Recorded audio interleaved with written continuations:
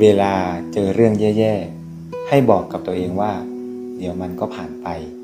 เดี๋ยวมันก็จะดีขึ้น และสุดท้ายมันก็จะผ่านไปจริงๆ ในโลกนี้ไม่มีสิ่งใดที่จะอยู่กับเราได้ตลอดกาลดังนั้นเข้มแข็งเอาไว้ เดี๋ยวมันก็ผ่านไป อะไรนี่อะไรเนี่ยเลยเอาถามมาตัวแล้วมาใส่